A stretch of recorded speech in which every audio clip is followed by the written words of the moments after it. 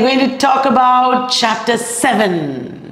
Have you heard of Brahmin and fireside poets?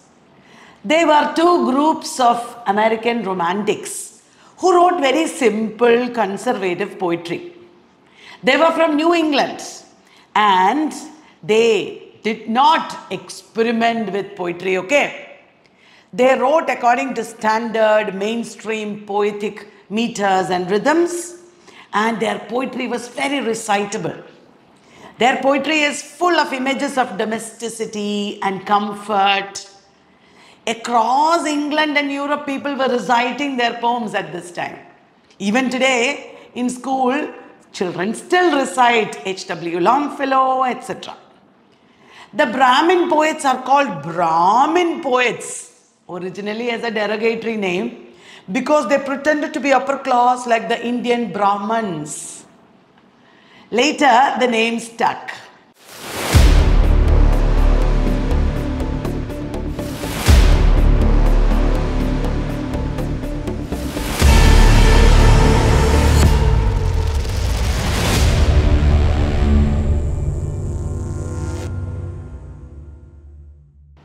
The Brahmin poets uh, are aristocratic and culturally elite, you know, in their writing. That is why they were called by this name. John Greenleaf Whittier, Oliver Wendell Holmes, H.W. Longfellow. You might have heard these names. They are very important, famous poets.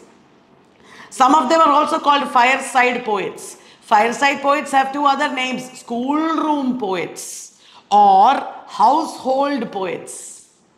Very rhythmic, beautiful poems they sang. And some of the fireside poets wrote long narrative poems.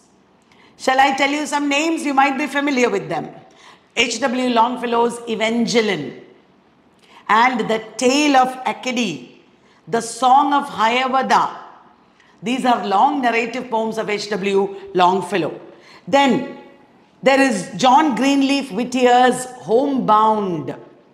Oliver Wendell Holmes wrote Old Ironsides. All famous, you should look them up. I was just checking out some of the easily recitable poems in Google and I thought I will share with you one of them. It is a simple poem called The Rainy Day by H.W. Longfellow. The day is cold and dark and dreary. It rains and the wind is never weary. The vine still clings to the mouldering wall, but at every gust the dead leaves fall, and the day is dark and dreary. That is one stanza. You can sing it in any tune that you want. I just sang in a tune that came to my mind, that's all. But the thing is, when you sing, you know there is meter. Otherwise, you can't sing. The tala or rhythm should be at regular intervals. Only then you can sing. Also, when you sing, it is easy to remember. That is why it is recitable.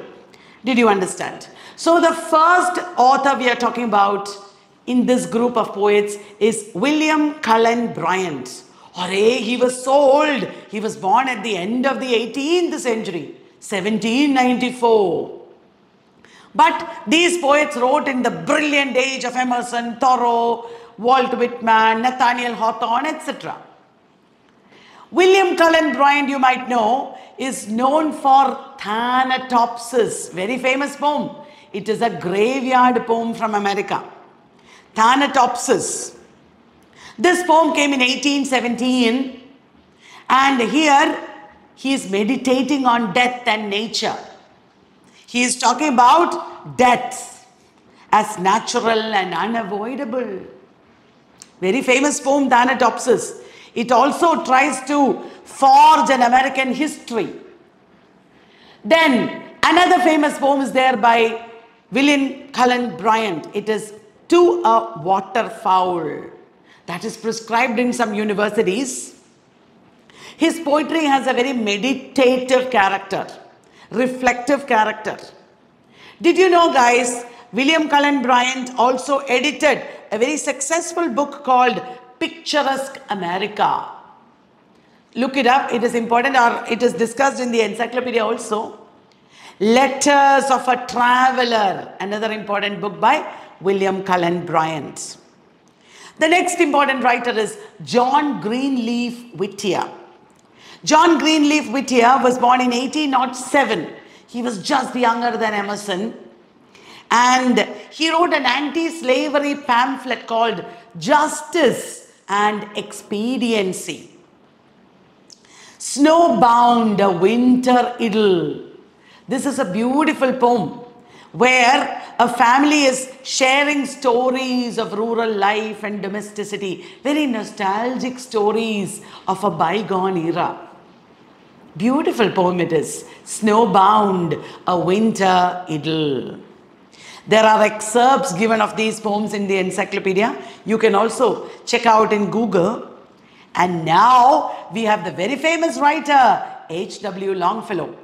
Born in the same year as John Greenleaf Whittier in 1807, he was a poet as well as an educator.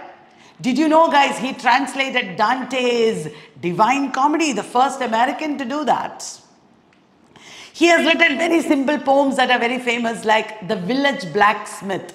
You might have studied that in school sometimes. I have studied it, I think. The Village Blacksmith. It is a very popular poem about the daily life of a local blacksmith in a village. I already mentioned Evangeline, a tale of Acadie. It is the story of an Acadian girl. What is Acadian?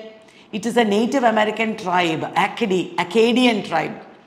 And Evangeline is a girl from this uh, tribe and she's searching for her lost lover. Evangeline is a very important book that talks about Native American history and identity in the 19th century. Then there is the epic poem, The Song of Hiawatha. It is a very interesting story, guys. Hiawatha, the protagonist, is a very strong and wise Native American who loves and marries another Native American woman. He teaches his people to read and write, but then his wife dies and white men arrive in his village. At that time, he leaves his village never to return.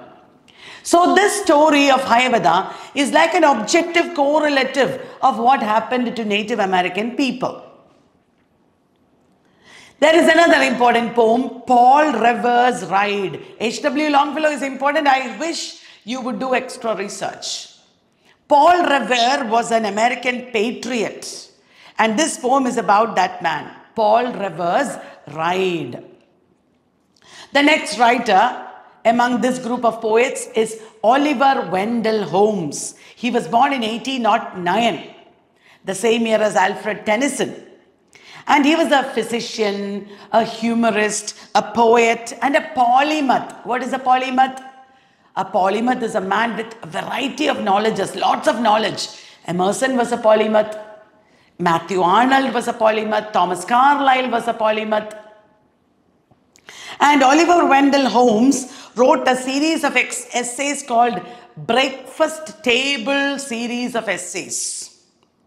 I already mentioned his long poem, Old Ironsides. That is very important. It's about a warship in the 18th century. The government was planning to destroy that warship and he wrote against it. Old Ironsides. The title itself will help you remember. It's about a warship. Then, guys, James Russell Lowell. Have you heard that name? James Russell Lowell wrote a series of satirical poems. All his poems are satirical, I think. The Biglow Papers, The Fable for Critics, etc. In NET and SET exams, it is possible that you will get a question from the uh, fireside poets or the Brahmin poets especially H.W. Longfellow. For any thorough understanding of American literature, you should know about these poets and you should read their original works, some of them at least, parts of it at least. If you want, you can use the Encyclopedia of the Literature of the Americas in two volumes brought out by Bodhi Tree. Otherwise, you can do your own research also. Whether you buy this book or not, you have to do your research. Because in net set these days, as you know, there is a very research oriented approach. The importance of this encyclopedia is that we have collected information from many important books on American literature. So reading this encyclopedia will be like reading many important books. It is all in, given in a nutshell and it will give you a very thorough foundation for developing your knowledge on this subject. Guys, if you study British literature, American literature and all these literatures and theories thoroughly, get the foundation right, you will easily pass net, set and such exams in a breeze. The exams themselves are not difficult. They require thorough knowledge, that is all. So, happy learning. I will keep on giving you guidance to become excellent professors. In this year, when you are studying all this, I'm sure you will pass important exams and the foundation of your career will be laid. So, professors, I'm signing out for now. Continue your learning. I'll be back with chapter 8 on the Civil War in America. Very important chapter.